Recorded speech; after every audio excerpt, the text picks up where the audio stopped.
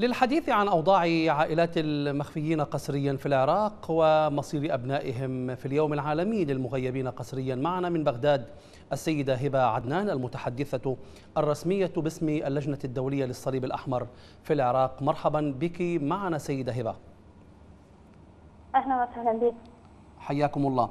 يعني إذا نظرنا أولا إلى ما قالته بعض المراكز الحقوقية والمنظمات الحقوقية على سبيل المثال قرأنا قبل قليل خبرا أورده المرصد الأورو متوسطي عن أن عدد المغيبين قسريا في العراق يتراوح ما بين 250 ألفا إلى مليون شخص. إذا افترضنا العدد الأقل من المغيبين يعني أن هناك 250 ألف عائلة عراقية تعاني وتكابد يوميا في انتظار عودة أبنائها أو معرفة مصيرهم. عن أي نوع من المعاناة نتحدث سيدة هبة؟ يعني شكرا لكم طبعا على الاستضافة. اليوم يعني بمناسبة اليوم العالمي للمفقودين أكيد نتذكر جميع المفقودين بالعراق. في العالم بشكل عام. نحن كلجنة دولية للصليب الأحمر في العراق نسلط يعني الضوء على احتياجات عوائل المفقودين.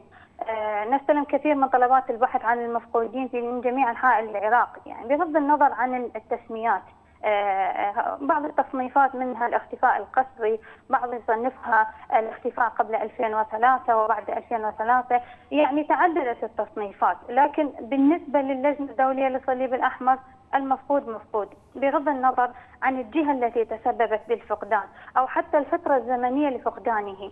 لأننا من احتكاكنا وتواصلنا مع العوائل أثر الفقد على العوائل هو نفسه. يعني العائلة التي فقدت ذويها قبل أربعين عاما أثره نفسه على العائلة التي فقدت آه، آه، شخصا أو عزيز عليها قبل أسبوع.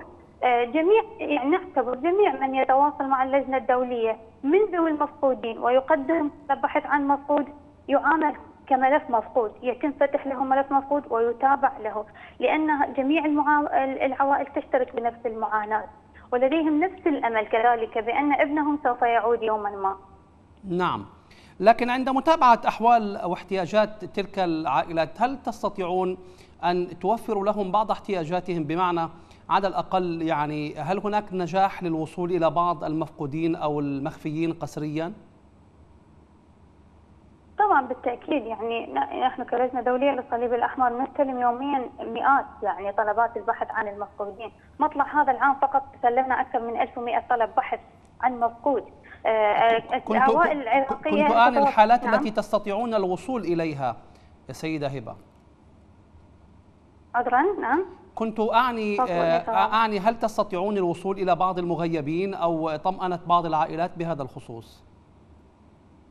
بالتأكيد جميع العوائل التي تتواصل معنا عوائل المفقودين بالتأكيد ويكون لهم ملف يفتح ملف لهذا المفقود. نستطيع نحن أن نتواصل معهم كلجنة دولية للصليب الأحمر. نحاول تقييم احتياجات هذه العوائل بالدرجة الأساس. تعلم أن أكثر احتياج يحتاج هذه العوائل هو معرفة مصير ذويهم. نعم. هم يحتاجوا أن يعرفوا إجابات واضحة عن مصير ذويها. نحاول قدر الإمكان الاستجابة لهذه هذه الاحتياجات. نحاول أن نعمل على توفير إجابات واضحة. آه، طبعا يعني عملنا كثير منذ عام 1991 على ملف المفقودين وإلى الآن. نعم. ما الجهات التي تتواصلون معها لمحاولة توفير بعض المعلومات لطمأنة العوائل؟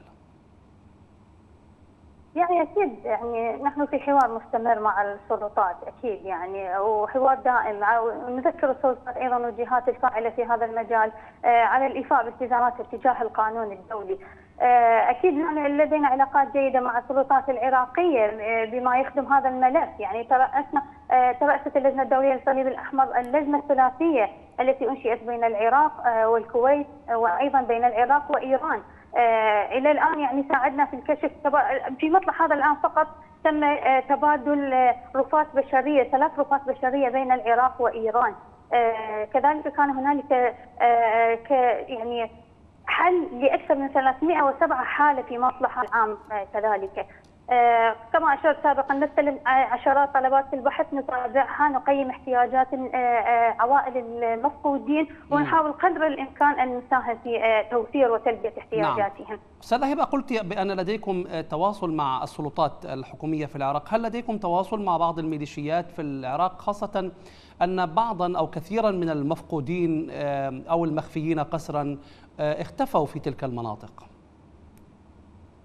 يعني نحن كمنظمة إنسانية يعني نعمل بشكل حيادي نتواصل مع جميع الأطراف. نعم. بغض النظر عن المسميات جميع أطراف النزاع في حوار مستمر معهم. نحاول قدر الإمكان أن نساهم في التخفيف من عبء على العوائل وتوفير إجابات لعوائل المفقودين كذلك. من خلال تواصلنا وحوارنا دائما مستمر وتفكير أطراف النزاع بضرورة الإيفاء بالتزاماتهم تجاه القانون الدولي الإنساني للوقاية من الانفصال الأسري وإعادة الروابط الأسرية كذلك. نعم. أشكرك جزيلا الأستاذة هبة عدنان المتحدثة الرسمية باسم اللجنة الدولية للصليب الأحمر في العراق.